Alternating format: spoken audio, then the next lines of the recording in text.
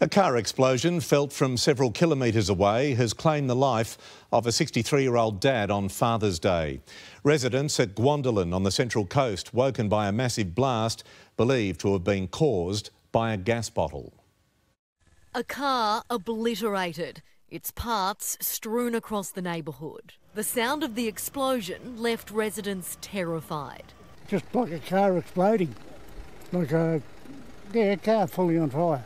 Neighbours rushed to find 63 year old Alan Bull with critical burns all over his body. They attempted CPR, but he couldn't be saved. A man lying in the driveway, bloodied.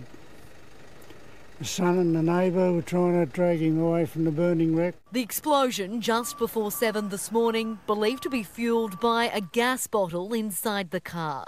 Emergency services enforced a 200 metre exclusion zone fearful of a second blast.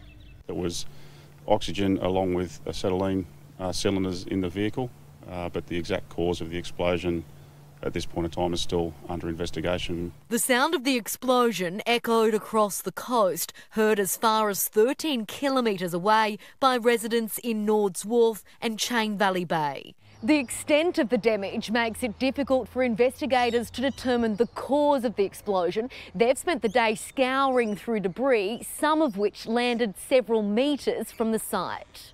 Complete and utter heartache for a daughter on Father's Day, watching on as police examine the moments leading up to her dad's death.